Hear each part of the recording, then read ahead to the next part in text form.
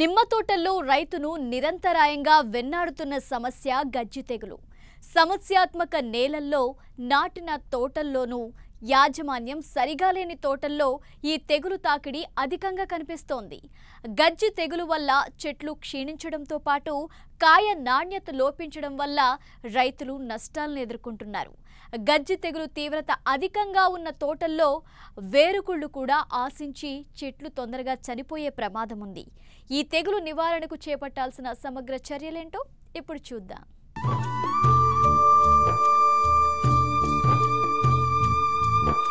నాటిన మూడవ సంవత్సరం నుండి ముప్పై సంవత్సరాల వరకు నిరంతరాయంగా దిగుబడినిచ్చే పంట నిమ్మ. ఈ తోటల నుంచి ఏడాది పొడవునా కాయ దిగుబడి వచ్చినప్పటికీ నవంబర్ నుంచి వచ్చే పూత నుంచి రైతులు అధిక ఆదాయం పొందుతున్నారు. ఈ పూత నుంచి వేసవిలో కాయ తయారవుతుంది. వేసవిలో నిమ్మకాయకు అధిక డిమాండ్ ఉంటుంది కనుక రైతుకు మంచి రేటు లభిస్తుంది. తెలుగు రాష్ట్రాల్లో ముఖ్యంగా కోస్తా జిల్లాల్లో నిమ్మ తోటలను అధిక విస్తీర్ణంలో సాగు చేస్తున్నారు. కృష్ణా గుంటూరు గోదావరి జిల్లాలతో పాటు నెల్లూరు ప్రకాశం జిల్లాల్లోని సారవంతమైన మెట్ట భూముల్లో ఈ పంట అధిక విస్తీర్ణంలో సాగవుతుంది. నిమ్మ సాగులో అనేక రకాల చీడపీడలను రైతులు సులభంగా అధిగమిస్తున్నప్పటికీ గజ్జి తెగులు బెడదతో ఏడాది పొడవునా ఇబ్బందులు ఎదుర్కొంటున్నారు. ఈ తెగులు వల్ల దిగుబడి తగ్గడమే కాకుండా పంట నాణ్యత తగ్గిపోయి మార్కెట్లో సరైన ధర పొందలేకపోతున్నారు. సాధారణంగా ఈ తెగులు చెట్ల ఆకులు పండ్ల మీద ఎక్కువగా కనిపిస్తుంది. మొదట ఆకుపై పసుపు పచ్చగా చిన్న చిన్న మచ్చలు ఏర్పడతాయి. క్రమేపీ ఈ మచ్చలు ఉబ్బెత్తుగా గరుకుగా గజ్జివలే కనిపిస్తాయి. ఆకులు పసుపు రంగుకు మారి రాలిపోతాయి. కాయల మీద ఈ తెగులు లక్షణాలను గమనించినప్పుడు మచ్చలు ఉబ్బెత్తుగా ఉన్న ప్రాంతాల్లో జిగురు వంటి ద్రవం కారడం కనిపిస్తుంది. తెగులు తీవ్రత అధికంగా ఉన్నప్పుడు కాయల్లో పగుళ్ళు సంభవించడం కనిపిస్తుంది. కాయలు ముదరక ముందే రాలిపోతాయి. తెగులు తీవ్రమైనప్పుడు చెట్టులోని అన్ని భాగాలకు వ్యాపిస్తుంది. ముళ్ళ మీద పెద్ద కొమ్మల మీద కాండం మీద చివరకు వేరుపై కూడా ఈ తెగులు సోకి తీవ్ర నష్టం కలిగిస్తుంది. తెగులు ముదిరిన దశలో కొమ్మలు ఎండిపోయి చెట్టు క్షీణిస్తుంది. గజ్జి తెగులు నివారణకు రైతులు సమగ్ర యాజమాన్యం పాటించాలి. తెగులు సోకిన కొమ్మలను కత్తిరించి వేయాలి. ఒక గ్రాము స్టెస్టోసైక్లిన్ ముప్పై గ్రాముల బ్లైటాక్స్ పది లీటర్ల నీటిలో కలిపి ఇరవై రోజుల వ్యవధిలో రెండు మూడు సార్లు చెట్టంతా తడిచేటట్టు పిచికారీ చేయాలి. చెట్ల మొదళ్ళపైన పెద్ద కొమ్మలపైన గజ్జి తెగులు ఉంటే తెగులు ఉన్న బెరడును కత్తితో గోకివేసి బోర్డో పేస్ట్ పూయాలి. తెగులును గుర్తించిన వెంటనే తగిన నివారణా చర్యలు చేపడితే ఈ తెగులు ప్రభావం దిగుబడిపై అంతగా ఉండదు. ఏటా మే జూన్ నెలల్లో ఎండు కొమ్మలను కత్తిరించి చెట్లకు గాలి వెలుతురు ధారాళంగా వచ్చేటట్లు చూసుకుంటే గజ్జి తెగులు ఆశించే అవకాశాలు తక్కువగా ఉంటాయి. కొత్తగా తోటలు వేసే రైతులు తెగులును తట్టుకునే బాలాజీ రకాన్ని సాగుకు ఎంచుకోవటం ఉత్తమం. ఈ విధమైన యాజమాన్యంతో ఈ తెగులును సమర్థంగా అధిగమించి నిమ్మలో అధిక దిగుబడితో పాటు నాణ్యమైన ఉత్పత్తిని సాధించవచ్చు.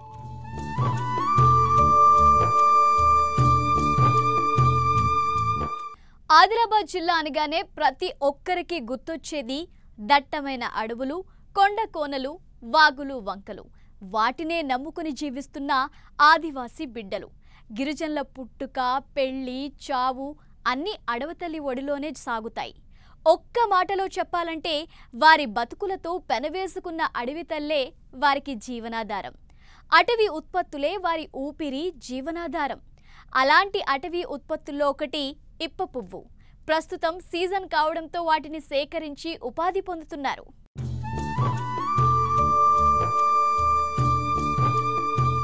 ఇప్ప పువ్వు తెలంగాణలో దొరికే ప్రకృతి ప్రసాదం. దీని గురించి చాలా తక్కువ మందికి తెలుసు.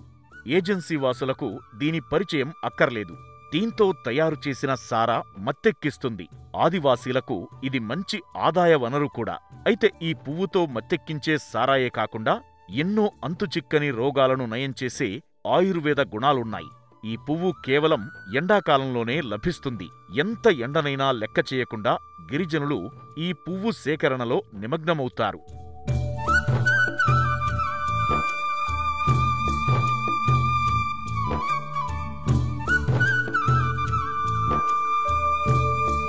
ఇక్కడ కనిపిస్తున్న గ్రామాలు ఆదిలాబాద్ జిల్లాలోని ఉట్నూర్ ఏజెన్సీలోనివి. గిరిజనులకు కాలానుగుణంగా ఉపాధినిచ్చే వృక్షాల్లో ఇప్ప చెట్లు ప్రధానమైనవి. వేసవి వచ్చిందంటే చాలు. విప్ప పువ్వు సేకరణకు ప్రాధాన్యతనిస్తారు. ముఖ్యంగా ఈ సమయంలో ఎండ తీవ్రత ఉండటంతో తెల్లవారుజామునే దగ్గర్లోని అడవికి వెళ్ళి ఇప్పపూలను సేకరిస్తారు. ఎండ తీవ్రమయ్యే సమయానికి ఇండ్లకు చేరుకుంటారు. ఇప్పపువ్వు సేకరణలో మహిళలు పిల్లలే అధికంగా పాల్గొంటారు. తెచ్చిన పువ్వును ఎండబెట్టి వంటకాలు చేసుకుని తింటుంటారు. అంతేకాదు లడ్డూలను తయారు చేసి అమ్ముతూ మంచి లాభాలను ఆర్జిస్తున్నారు. అయితే పొద్దున ఐదు గంటలకు లేచి చెట్ల కాడ కోతాము ఇప్పుడు పువ్వు చెట్ల కాడ పువ్వులు ఏరుతాము. ఏరి వచ్చినాక తర్వాత అవి ఎండబెడతాం. ఎండబెట్టిన తర్వాత అవి ఆరేసినాక మళ్ళా అక్కడ ఏమన్నా తుక్కుంటే ఏరి పారేస్తాం. పారేసినాక అవి శుభ్రం చేసి ఇక్కడ తెచ్చి మేము అన్ని విధాలుగా మినప పప్పుతోటి రుబ్బి అంబలు చేసి తాగుతారు. అది అది తిన్న వల్ల రక్తం పెరుగుతుంది మంచి బలంగా ఉంటాము. ఆరోగ్యతతోటి ఉంటాము అవిటితోటి అన్నీ తయారు చేస్తున్నాము ఇక్కడ కూడా. లడ్డు కేంద్రం దగ్గర పోయి కూడా ఇప్ప పువ్వు లడ్డు చేసి అమ్ముతున్నాము. కొట్టనేయమంటారు ఫస్ట్ వాళ్ళు కొట్టేస్తున్నారు. చెట్లు తగ్గిపోయినాయి ఎట్లనా తగ్గిపోతే ఆ చెట్లు మళ్ళా పెంచాలా. మేమైతే దేవు అది మాకు దేవుడితో సమానమే మరి. ఇప్పుడు వచ్చే నెల మేము దానికి పూజ చేస్తాము. దేవుడు చేస్తాం. దానికి ఏమో భీమల్ భీమల్ మర అంటాం మేము దానికి. గోండిలో భీమలమర అంటే దానికి దేవుడు చేస్తాం. చూడు ఇప్ప మా ఇప్ప పువ్వు వల్ల ఇంత ఇన్ని ప్రయోజనాలు ఉంటాయి. అడవిలో ఏ చెట్టులో ఏ కాయ కాసినా కూడా మా వాళ్ళు అందరూ ఏది కాయ వదలకుండా తెస్తారు అమ్ముతారు తింటారు అవిటితోటి పూట గడవాలంటే పువ్వు తేవాలా ఎండబెట్టాలా అమ్మాలా? ఇక దుకాణంలో కూడా ఎక్కడ అంటే జీసీసీ అమ్మేటోళ్ళు ఇప్పుడు దుకాణంలో కూడా తీసుకుంటారు. దుకాణంలో కూడా అమ్ముతున్నారు. అమ్మి ఏదో పప్పు ఉప్పు కారం తక్కువ ఉంటే అవి అమ్మి పప్పు అమ్మి కూడా తెచ్చుకొని బతుకుతున్నారు. ఈ ప్రతి నెల ఏప్రిల్ నెలలోనే ఈ బీపు పువ్వు దొరుకుతుంది అప్పుడే ఏరుతాం మళ్ళీ మళ్ళీ దొరకదు సంవత్సరం దాకా ఎక్కడ దొరకదు ఈ మే ఏప్రిల్లోనే దొరుకుతుంది ఈ నెల మొత్తంకు. ఎన్నో ప్రోటీన్లు విటమిన్లు ఖనిజ లవణాలు పుష్కలంగా ఉండి ఎన్నో ప్రయోజనాలున్నాయి ఇప్పపూలలో. అయితే చాలామంది మహిళలు రక్తహీనతతో పాటు వివిధ రోగాల బారిన పడుతున్నారు. ఇవన్నీ అరికట్టడానికి గిరిజన సంక్షేమ అధికారులు ఓ మార్గం ఎంచుకున్నారు. ఇప్ప పువ్వులో ఉండే ఐరన్కు రక్తహీనత తగ్గించే లక్షణాలు ఉన్నాయి. అలాగే ఇతర పోషకాలు ఎన్నో ఉన్నాయి. దీంతో ఇప్ప పువ్వుతో పలు ఉత్పత్తులను తయారు చేయించి గర్భిణీలకు అందించనున్నారు. దీని ద్వారా గిరిజనులకు ఉపాధితో పాటు ఆరోగ్యాన్ని కాపాడుకుంటున్నారు. ఆ ముత్తాతల నుంచి ఇప్ప పువ్వు ఏరడం ఇప్ప పువ్వు తినడం గారెలు చేసి వండుకొని తినేవాళ్ళం.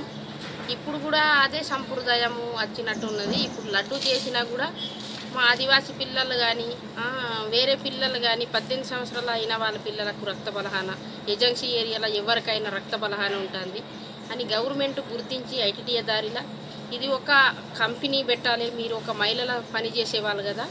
ఇది చేయగలుగుతారంటే మేము చేస్తున్నాం.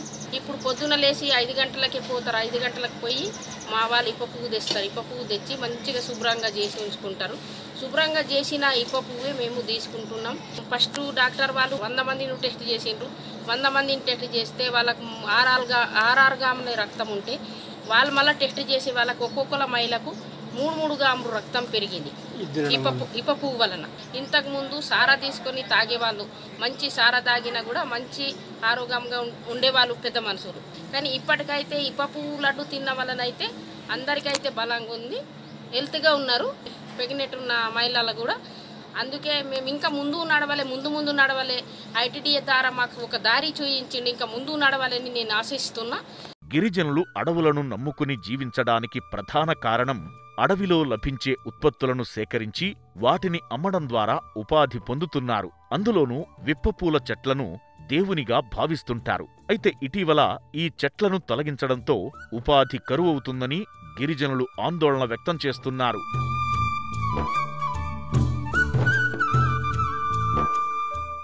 సాంప్రదాయ పంటల స్థానంలో కూరగాయలను పండిస్తూ వినూత్న పద్ధతుల్లో ముందుకు సాగుతున్నారు రైతులు.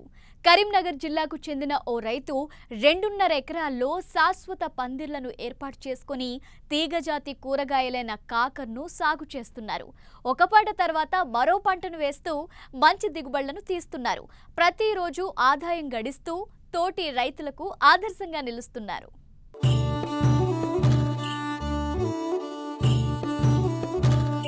కరీంనగర్ జిల్లా కరీంనగర్ రూరల్ మండలం గోపాల్పూర్ గ్రామంలో అధిక విస్తీర్ణంలో కూరగాయల సాగు చేస్తుంటారు. సీజన్కు అనుగుణంగా కూరగాయలను పండించి స్వయంగా మార్కెటింగ్ చేసుకుంటుండటంతో మంచి ఆదాయం పొందుతున్నారు. ఈ కోవలోనే రైతు మంద తిరుపతి గత పన్నెండేళ్ళుగా శాశ్వత పందిర్లపై తీగజాతి కూరగాయలను సాగు చేస్తున్నారు.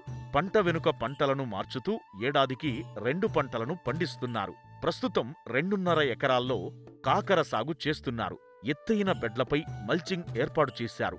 మొక్కలకు డ్రిప్ ద్వారా నీటి తడులు ఎరువులను అందిస్తున్నారు. అయితే వాతావరణ మార్పుల కారణంగా చీడపీడల ఉధృతి పెరిగింది. వీటిని నివారించేందుకు అధికంగా ఖర్చు చేయాల్సి వస్తోందని చెబుతున్నారు. మార్కెట్లో ధరలు కూడా స్థిమితంగా ఉండటంతో మంచి లాభాలను పొందుతున్నారు. నేను గత పది పన్నెండు సంవత్సరాలకెళ్ళి పందిరి కూరగాయలు ఎక్కువగా సాగు చేస్తున్నాను. దానిలో భాగంగా ఈ రబీలో నేను జనవరి ఆఖరిలో ఫిబ్రవరి ఫస్ట్ పక్షాన కాకర రకాన్ని సాగు చేయడం జరిగింది. ఒక రెండున్నర ఎకరాలు నాకు ఇక్కడ పందిరి ఉన్నది. ఎందుకంటే ఇంతకుముందు బీరే ఉండే దానికి ప్రత్యామ్నాయం మనం మళ్ళీ కాకర వేయాలని చెప్పి ఈసారి కాకరను ఎంచుకున్నా. నాకు ఇప్పటివరకు అయితే మంచిగానే దిగుబడి వస్తుంది. రోజు ఏడు నుంచి ఎనిమిది క్వింటాల వరకు కాయలు దింపుతున్నా మార్కెట్లో కూడా మొన్నటి వరకు నలభై నలభై ఐదు వేయింది కానీ గత మూడు నాలుగు రోజులకెళ్ళి కొద్దిగా కూరగాయలు ఎక్కువ రావడం వల్ల ముప్పై నుంచి ముప్పై ఐదు రూపాయలు ధర పలుకుతుంది. ఈస్ట్ వెస్ట్ కంపెనీ మాయా అనే రకాన్ని నేను సాగు చేయడం జరిగింది. దీన్ని కొద్దిగా ఫస్టే మనం దుక్కి బాగా లోతు దుక్కి దున్నుకొని ఎకరాన ఒక నాలుగు ట్రాక్టర్ల పశువుల పేడ వేసుకొని దానిలో మన కొంచెం ఎత్తు భోజనాలు చేసుకొని మల్చింగ్ పేపర్ వేసి దానిలో బోరాను మెగ్నీషియం సల్ఫేట్ అట్లాంటి అట్లాంటి దుక్కిలోనే చల్లుకొని బెడ్లు చేయడం జరిగింది. ఇప్పుడు మొలకెత్తిన తర్వాత ఫస్ట్ దపాగా నేను ఇమ్రాక్లోపిడును ఇంత సాఫ్ అనే మందులు కొట్టాను. తర్వాత కొద్దిగా పురుగు కనిపించినట్టయితే ఇమామెత్తిన్ బెంజేటును వేరే మందులు కలిపి ఒక రెండు మూడు సార్లు ఫంగిసైడు అట్లా చేసి దారాలు పైకి ఎక్కే వరకు మనం పక్క పిలకలు తుంచేయడం వల్ల తీగ అనేది చక్కగా పోయి ఒక నెల రోజుల లోపల మనకు పైకి ఎక్కింది పైకి ఎక్కిన తర్వాత మనకు ఇక తీగలు ఏం డిస్టర్బెన్స్ చేయొద్దు మనం. దాంతో మనకు ఎస్టాబ్లిష్ అయ్యి మొత్తం పందిరంతా చిక్కగా వారి మనం డ్రిప్లో కూడా ఫర్టిలైజర్ ఫస్ట్ తీగ తాగడానికి ట్వెల్వ్ సిక్స్టీ వన్ ఉన్ను సియాప్టాను అనే మందును కలిపిన. మళ్ళీ నలభై ఐదు రోజుల నుంచి యాభై రోజుల మధ్యలో ఒకసారి బోరాన్ కూడా వెంచర్ ద్వారా ఎక్కియడం జరిగింది. ఇప్పుడేమో కాయలు పడే స్టేజ్లో మనకు కాల్షియం నైట్రేట్ ఎందుకంటే కాయలు కొద్దిగా పొడిపల్లాగా తిరిగిపోతాయి కాబట్టి అది చక్కగా రావాలంటే కాల్షియం నైట్రేట్ డెఫీస్ ఉంటే కాల్షియం నైట్రేట్ కూడా ఎకరానికి ఆరు కిలోల చొప్పున వారానికి ఒకసారి ఎక్కించాను. తర్వాత ఇప్పుడు కాయలు దృఢంగా రావడానికి ఎక్కువ దిగువ మనకు థర్టీన్ జీరో ఫార్టీ ఫైవ్ ఒక్కసారి ఫిఫ్టీ టూ జీరో ఫోర్ ఒకసారి డే ఆఫ్టర్ డే అంటే మూడు రోజులకు ఒకసారి మూడు రోజులకు ఒకసారి మార్చి మార్చి ఎక్కియడం. ప్లస్ మనకు ఈ పండుగ అనేది ఎక్కువ సమస్య ఉంటుంది కాకరలో. దానికి విషపెరలు కొన్ని పెట్టాం. ప్లస్ ఆ జిగురు పూసిన అట్టలు కూడా కొన్ని పెట్టాను. ప్లస్ మళ్ళీ మలాతి అనే మందు తైవాన్ స్ప్రే కొట్టు ఇరవై లీటర్ల ట్యాంక్కి ఫార్టీ ఎంఎల్ వేసి ఒకసారి స్ప్రే చేశాను. దాంతో కొద్దిగా పండుగ నాకు కంట్రోల్ ఉండి ఎక్కువ దిగుబడి వస్తుంది. మనకు పెట్టుబడి వచ్చేసి మనం కొద్దిగా చేన్నే కొద్దిగా ఒత్తు పెట్టుకుంటాం. ఎందుకంటే నాకు కిలోన్నర గింజలు పట్టినాయి రెండున్నర ఎకరాలకి. దానికి గాను నాకు పన్నెండు వేల రూపాయలు గింజలకి అయినాయి. ప్లస్ మళ్ళీ ఈ మల్చింగ్ ఖర్చు ఇదంతా ఎకరాకు ముప్పై నుంచి నలభై వేల రూపాయల ఖర్చు. దాదాపు లక్ష ఇరవై వేల రూపాయలు మనకు ఇప్పటివరకు పెట్టుబడి అయిందండి ఇక ఆదాయం మార్కెట్ను రేటును పెట్టండి ఇప్పుడు ఇదే రేటు ఇట్లా కొనసాగితే ఎకరాకు ఒక లక్ష నుంచి లక్ష యాభై వేల ఆదాయం వస్తుంది. అరవై డెబ్బై వేలు పెట్టుబడి పోయినా కూడా మనకు ఫిఫ్టీ పర్సెంట్ డెబ్బై ఎనభై వేల నికర ఆదాయం వస్తుంది. రైతు తిరుపతి పందిరి సాగు ద్వారా కూరగాయలు పండించే విధానాన్ని చూసి చుట్టుపక్కల రైతులు కూరగాయలు సాగు చేయడానికి ఉత్సాహం కనబరుస్తున్నారు. ప్రభుత్వం ప్రోత్సహించి కొంత ఆర్థిక తోడ్పాటు అందిస్తే కూరగాయలు సాగు చేయడానికి సిద్ధంగా ఉన్నామని స్థానిక రైతులు చెబుతున్నారు.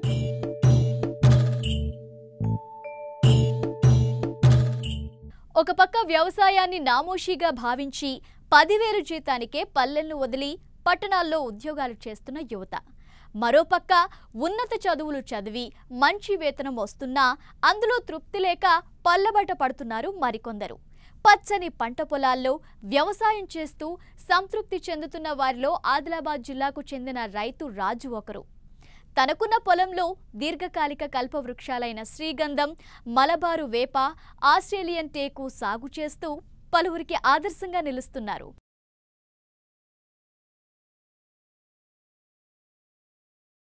పంట దిగుబడి ఎంత తొందరగా చేతికొస్తే రైతుకు అంత ప్రయోజనం. అయితే ఆరుగాలం చెమటోడ్చినా కాలం కలిసిరాకనో చేతికొచ్చిన దిగుబడికి ధర గిట్టుబాటు కాకనో రైతన్న పరిస్థితి ఒకడుగు ముందుకు రెండడుగులు వెనక్కి అన్న చందంగానే మిగిలింది. కొద్ది నెలల్లో ఆదాయాన్నిచ్చే ఆహార వాణిజ్య పంటల సాగుపైనే పూర్తిగా ఆధారపడటమే అన్నదాతల దుస్థితికి ఒకానొక ముఖ్య కారణం. ఈ వాస్తవాన్ని గ్రహించిన కొందరు రైతులు ఏటేటా కొన్నేళ్ళపాటు ఆదాయాన్నిచ్చే పండ్ల తోటల పెంపకం వైపు దృష్టి సారిస్తూ కొంతమేరకు ఆర్థిక స్థిరత్వాన్ని పొందుతున్నారు. అయితే నాటిన పది పదిహేనేళ్ళ తర్వాత తీసేసే పండ్ల తోటలతో పాటుగా పది ఇరవై ఇరవై ఐదేళ్ళకు ఒకేసారి కోతకొచ్చే ఖరీదైన కలప చెట్లను సాగు చేస్తున్న రైతన్నలు బహు కొద్దిమంది మాత్రమే. దూరదృష్టితో వెలుగుబాటన చెక్కు చెదరని ఆత్మవిశ్వాసంతో అడుగులు వేస్తున్న అటువంటి అరుదైన రైతుల్లో ఆదిలాబాద్ జిల్లా బోధ్ మండలం కాండిపల్లి గ్రామానికి చెందిన యువ రైతు రాథోడ్ రాజు ఒకరు. తనకున్న వ్యవసాయ భూమిలో దీర్ఘకాలిక కలప మొక్కలైన శ్రీగంధం మలబారు వేప ఆస్ట్రేలియా టేకును సాగు చేస్తున్నారు.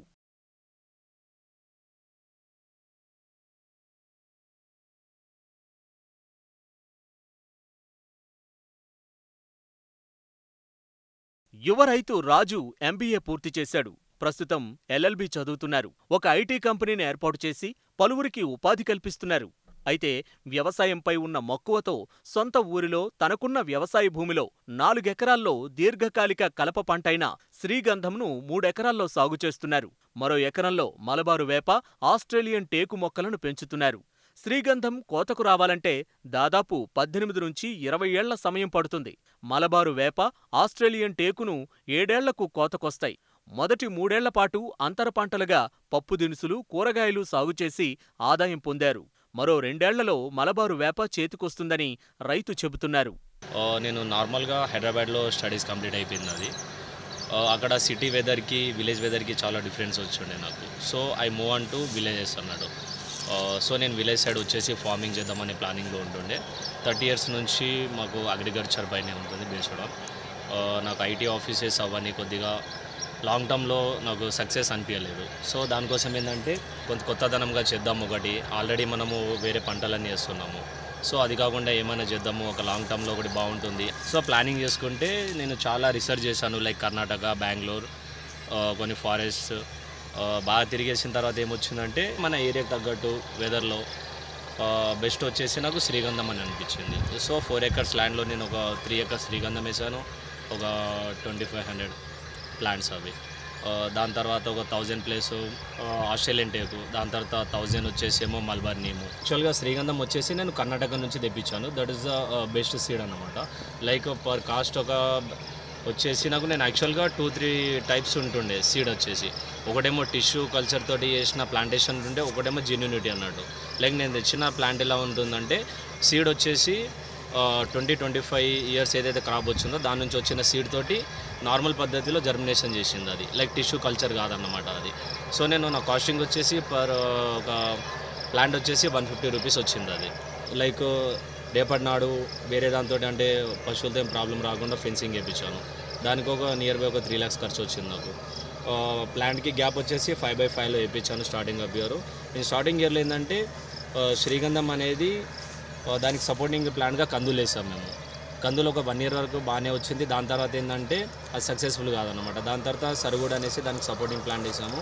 అది చాలా బాగా వచ్చింది అది. యాక్చువల్గా మేము ప్లాంటేషన్ ఎలా వేసామంటే టోటల్గా ఫర్టిలైజర్స్ అనే కాకుండా నార్మల్గా ఆవు పేడ మేము ఇయర్లీ ఒక టూ టైమ్స్ వేస్తూ ఉంటాం దీనికి. దాని తర్వాత గోమూత్రం కానీ అవన్నీ స్టేటప్స్ ఉన్నాయి అవన్నీ. సో ఫర్టిలైజర్ అనేది చాలా తక్కువ మనం యూజ్ చేసేది. సిక్స్ మంత్స్కి ఒకసారి కటింగ్ చేస్తూ ఉంటాం. లైక్ సైడ్ బ్రాంచెస్ కట్టేసేసి నిటారుగా వెళ్ళే విధంగా చూసుకుంటాం దాన్ని. ఆఫ్టర్ సిక్స్ మంత్స్ తర్వాత అయిపోయిన తర్వాత మళ్ళీ ఇంకోసారి సపోర్టింగ్ ప్లాంట్స్కి మళ్ళీ కటింగ్ ఉంటుంది. ఆ కటింగ్ చేసిందంతా కిందనే వేస్తాం అది. లైక్ బయట పాడేం దాని ఆకులు కానీ దాంతో రసాయనంగా తయారవుతుంది. అది ఎరువుగా తయారైపోయి అది గ్రోతింగ్ వస్తుంది అనమాట మనకు సిక్స్ బై సిక్స్ ప్లాంటేషన్లో వేసాం ఇది. ఇప్పటివరకు అయితే సక్సెస్ఫుల్గా ఉంది. నేను చూసిన సక్సెస్ స్టోరీస్లో శ్రీగంధం అనేది బెస్ట్ అనిపించింది నాకు. యాక్చువల్గా మనకు మల్బార్ వచ్చేసి ఫైవ్ సిక్స్ ఇయర్స్లో కటింగ్ అవుతుంటుంది అది. చాలామందికి డౌట్ రావచ్చు. ట్వంటీ ఫైవ్ ఇయర్స్లో శ్రీగంధం ఇచ్చేసి మనకు ఇన్పుట్ ఇన్కమ్ ఏం రాదు కదా అని. అలా ప్రాబ్లం ఏం లేదు. నేను స్టార్టింగ్ ఆఫ్ ఇయర్లో ఇక్కడ వచ్చిన తర్వాత నేను ఫేస్ చేసిన మెయిన్ ప్రాబ్లం ఏంటంటే లైక్ ఇన్వెస్ట్మెంట్ నాకు కూడా ఎక్కువనే అయింది. సో దానికి ఆల్టర్నేట్గా దీని మధ్యలో కూరగాయలు వేయడం కానీ వాటర్ మిలన్ కానీ ఒక వన్ టూ ఇయర్స్ వరకు వచ్చేసి మనకు రిటర్న్ ఆఫ్లో ఒక ట్వంటీ పర్సెంట్ రిటర్న్ వస్తుందండి కూరగాయల మధ్యలో వేసుకుంటే. ఆఫ్టర్ త్రీ ఇయర్స్ తర్వాత మనకు రిటర్న్స్ అనేది రావు. సో దానికి ఆల్టర్నేట్గా మన మల్బారు వేసుకుంటే దాంట్లో ఒక వన్ ఎకర్లో ఆఫ్టర్ ఫైవ్ ఇయర్స్ తర్వాత కటింగ్ వచ్చేస్తుంది అది. సో మనకి ట్వంటీ ఫైవ్ ఇయర్స్ శ్రీగంధం అన్నప్పుడు ఫైవ్ ఇయర్స్లో థౌజండ్ ప్లాంట్ వేసుకున్న కటింగ్ వచ్చేసినా కూడా ఎవ్రీ ఎవ్రీ ఫైవ్ ఫైవ్ ఇయర్స్కి కటింగ్ వస్తుందండి అది. సో మన ఇన్వెస్ట్మెంట్లో ఇప్పుడు ట్వంటీ ఫైవ్ ఇయర్స్ వెయిట్ చేయకుండా ఎవ్రీ ఫైవ్ ఇయర్స్లో మనకు మల్బార్ వేపా కానీ ఆస్ట్రేలియన్ టేక్లో కానీ వచ్చేసి మన రిటర్న్స్ అనేది రిటర్న్లో వస్తుంది. సో ఎక్కువగా దీనికి ఖర్చు అనేది కూడా ఉంటుంది. ఓన్లీ స్టార్టింగ్ ఆఫ్ ఇయర్లో ఖర్చు ఉంటుంది ఎక్కువ. దాని తర్వాత వాటర్ రిసోర్స్ కూడా ఏమవసరం లేదు. ఎండాకాలంలో వాటర్ ఇస్తే సరిపోతుంది దీనికి. జస్ట్ ఇయర్లీ వన్స్ ఒకటి కలుపు కానీ లేకుంటే రూటర్ వేటర్ తీసుకుంటే బాగుంటుంది అంతే. ఇన్వెస్ట్మెంట్ వచ్చేసి నాకు ఒక ఫైవ్ సిక్స్ ల్యాక్ అయింది. దాని రిటర్న్స్ వచ్చేసి వన్ టూ ఇయర్స్లో నేను కూరగాయలు వాటర్ మిలన్ పైన ఒక వన్ టూ ల్యాక్స్లో రిటర్న్ వచ్చేసింది. సో ఇప్పుడు ఇంకో ఫైవ్ ఇయర్స్లో మనకు వచ్చేసి కటింగ్స్ అప్రాక్సిమేట్లీ అంత అయిపోతుంది. అంటే మల్బార్ వేప ప్లస్ ఆస్ట్రేలియన్ టేక్ వచ్చేసి. ఆస్ట్రేలియన్ టేక్ అనేది కూడా లైక్ మన టేక్ లాగానే అది. కాకపోతే ఆ క్రాప్ వచ్చేసి లాంగ్ టర్మ్ కాదన్నమాట. లైక్ సెవెన్ ఎయిట్ ఇయర్స్లో మనది క్రాప్ అనేది వచ్చేస్తుంది మనకు అది. సెవెన్ ఎయిట్ ఇయర్స్లో దాని కాస్టింగ్ కూడా టేకు రేట్ బాగానే ఉంటుంది అది. అది సెవెన్ ఎయిట్ ఇయర్స్లో కటింగ్ అయిపోయిన తర్వాత కూడా మన పెట్టిన ఇన్వెస్ట్మెంట్లో ఒక సెవెంటీ ఎయిటీ పర్సెంట్ కవర్ చేయొచ్చు. నేను చూసిన ప్లాంట్లలో నేను విజిట్ చేసిన కర్ణాటక కానీ బెంగళూరు కానీ మెయిన్ ప్రాజెక్టులలో ఏంటంటే ట్వంటీ ఫైవ్ ఇయర్స్లో తీసుకుంటేనే మంచి గ్రేడ్ ఆయిల్ కంటెంట్ కానీ ఏ గ్రేడ్ కానీ మంచి ప్రైజింగ్ అనేది వస్తుంది. చదువుకున్న యువత వ్యవసాయంలోకొచ్చి ఆధునిక పద్ధతులు పాటించి సాగును లాభసాటిగా మార్చవచ్చు. ఈ రైతు అందరిలా సంప్రదాయ పంటలు కాకుండా దీర్ఘకాలం చేతికొచ్చే కలప మొక్కలను పెంచుతూ మరోవైపు ఉద్యోగం చేసుకుంటూ పలువురు రైతులకు ఆదర్శంగా నిలుస్తున్నారని వ్యవసాయ అధికారులు చెబుతున్నారు. దూరు గ్రామంలో రాథోడ్ రాజు అనే యువ రైతు ఉన్నత చదువులు చదివినప్పటికీ మళ్ళీ వ్యవసాయం పైన వాళ్ళ తండ్రి చేసే వ్యవసాయం పైన మక్కువతోటి అయితే నాలుగు సంవత్సరాల క్రితం వారికి ఉన్న మొత్తం పొలంలో ఒక నాలుగు ఎకరాలను ఎంచుకొని అందులో అగ్రి సిల్వికల్చర్లు అంటే మనకు ఫారెస్ట్ స్పీసీస్ని ఎంచుకొని ఏది శ్రీగంధము మలబార్ వేప అదేవిధంగా ఆస్ట్రేలియన్ టేక్. ఈ మూడు రకాల మొక్కలను ఎంచుకొని సాగు చేస్తున్నాడు. నాలుగు సంవత్సరాలలో వీటి తీసుకున్న కేర్ చూస్తేనే అర్థమవుతుంది ఆయనకు ఎంత ఇంట్రెస్ట్ ఉందో. ఇది అందరు రైతులు పాటించాలని కాదు. ఎవరైతే కొద్దిగా ఎకనామికల్గా స్టేబుల్ ఉంటారో వాళ్ళు పాటించవచ్చు ఎందుకంటే ఇది దీంట్లో ఇన్కమ్ జనరేట్ కావాలంటే రైతుకు అట్లీస్ట్ ఇరవై నుండి ఇరవై ఐదు సంవత్సరాల టైం పట్టుద్ది. ఒక పంట కాకపోయినా మరో పంటకైనా మంచి ధర పలుకుతుందనే ఆశతో శ్రీగంధం మలబారు వేప ఆస్ట్రేలియన్ టేకు మొక్కలు నాటారు రైతు. ఇప్పుడు ఏపుగా పెరుగుతున్నాయి చెట్లు. ఇప్పటికే అంతర్ పంటలతో ఆదాయం పొందిన రైతు మరో రెండు మూడేళ్ళలో మలబారు వేప ఆస్ట్రేలియన్ టేకు మొక్కలపై ఆదాయం పొందుతానంటున్నారు. చదువుకున్న యువత కూడా ఒకవైపు ఉద్యోగాలు చేస్తూనే దీర్ఘకాలిక పంటలను వేస్తే ఇటు పర్యావరణాన్ని కాపాడ్డమే కాదు అటు ఆదాయం పొందేందుకు వీలుంటుంది.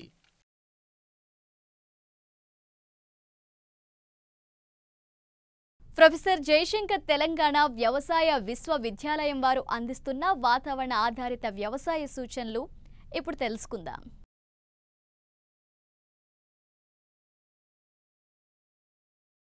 హైదరాబాద్ వాతావరణ కేంద్రం అందించిన సమాచారం ప్రకారం రాబోవు నాలుగు రోజుల్లో రాష్ట్రంలో అక్కడక్కడ తేలికపాటి వర్షాలు కురిసే అవకాశం ఉంది. పగటి ఉష్ణోగ్రతలు ముప్పై ఏడు నుంచి నలభై మూడు డిగ్రీల సెల్సియస్ రాత్రి ఉష్ణోగ్రతలు ఇరవై నాలుగు నుంచి ముప్పై డిగ్రీల సెల్సియస్ మధ్య నమోదయ్యే అవకాశం ఉంది. ప్రస్తుత వాతావరణ పరిస్థితుల్లో వరిలో కాండం తొలుచు పురుగు కాండం కుళ్ళు మెడవీర్పు తెగులు సోకుటకు అనుకూలం. కాండం తొలుచు పురుగు నివారణకు కార్టాప్ హైడ్రోక్లోరైడ్ యాభై ఎస్పీ లేదా సున్నా పాయింట్ మూడు మిల్లీలీటర్ల క్లోరంట్రినిలిప్రోల్ పద్దెనిమిది పాయింట్ ఐదు ఎస్పీ మందును లీటరు నీటికి కలిపి పిచికారీ చేయాలి.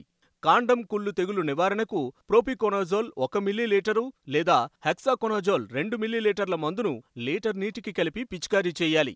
మెడవిరుపు తెగులు నివారణకు ట్రైసైక్లోజోల్ సున్నా పాయింట్ ఆరు గ్రాములు లేదా ఐసోప్రోథయోలిన్ ఒకటిన్నర మిల్లీలీటర్లు లేదా కాసుగామైసిన్ రెండున్నర మిల్లీలీటర్లు లీటర్ నీటికి కలిపి పిచికారీ చేయాలి. కాండం కుళ్ళు తెగులు మెడవిరుపు తెగులు నివారణకు ఒక మిల్లీలీటర్ల అజాక్సిస్ట్రోబిన్ ప్లస్ డైఫెనాకోజోల్ మందును లీటర్ నీటికి కలిపి పిచికారీ చేయాలి. ప్రస్తుత వాతావరణ పరిస్థితుల్లో ఆముదంలో కొమ్మ కాయతొలుచు పురుగు గమనించడమైనది. నివారణకు రెండు మిల్లీలీటర్ల ప్రొఫినోఫాస్ లేదా ఒక మిల్లీలీటరు నోవాల్యూరాన్ మందును లీటర్ నీటికి కలిపి పిచికారీ చేయాలి. కూరగాయ పంటల్లో రసం పీల్చే పురుగులు గమనించినట్లయితే నివారణకు డైమిథోయేట్ రెండు మిల్లీలీటర్లు లేదా ఎసిఫేట్ ఒకటిన్నర గ్రాములు లీటర్ నీటికి కలిపి పిచికారీ చేయాలి. ప్రస్తుత వాతావరణ పరిస్థితుల్లో మామిడిలో పండు ఈగ గమనించడమైనది. నివారణకు ప్లాస్టిక్ పళ్ళెంలో రెండు మిల్లీలీటర్ల మిథైల్ యుజినాల్ మూడు గ్రాముల కార్బోఫ్యూరాన్ త్రీ జీ గుళికలను లీటర్ నీటిలో కలిపి తోటలో వేలాడదీసినచో పురుగులు మందునీటిలో పడి చనిపోతాయి. మామిడిలో తేనె మంచు పురుగు పిండి నల్లి పొలుసు పురుగుల ఉధృతి గమనించడమైనది. నివారణకు సున్నా పాయింట్ మూడు మిల్లీలీటర్ల ఇమిడాక్లోఫ్రిడ్ మందును ప్లస్ రెండున్నర మిల్లీలీటర్ల వేప నూనెను లీటర్ నీటికి కలిపి పిచికారీ చేయాలి. ప్రస్తుత వాతావరణ పరిస్థితులు కోళ్ళలో కొక్కేరు తెగులు సోకుటకు అనుకూలం. నివారణకు టీకాలు వేయించాలి. కోళ్ళు వేడి వాతావరణాన్ని తట్టుకొనుటకు షెడ్లలో ఫ్యాన్లు ఫాగర్స్ను అమర్చి షెడ్లపై వరిగడ్డితో కప్పి స్ప్రింక్లర్లను అమర్చుకోవాలి. కోళ్ళు ఎక్కువ మోతాదులో తినుటకు అనుగుణంగా మెత్తటి దానాను పెట్టి త్రాగుటకు చల్లని నీటిని అందుబాటులో ఉంచాలి. ప్రస్తుత వాతావరణ పరిస్థితులు గొర్రెలలో చిటుకు మసూచి పీపీఆర్ వ్యాధులు సోకేందుకు అనుకూలం. ఆవులు గేదెలలో గొంతువాపు వ్యాధి గొంతు మరియు గాలికుంటు వ్యాధి సోకుటకు అనుకూలం. వీటి నివారణకు టీకాలను వేయించాలి.